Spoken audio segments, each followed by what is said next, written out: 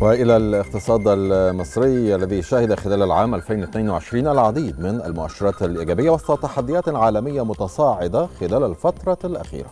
حقق الاقتصاد المصري خلال العام الماضي نموا مستمرا رغم التحديات التي فرضتها الأحداث العالمية غير المواتية يأتي على رأسها الأزمة الروسية الأوكرانية.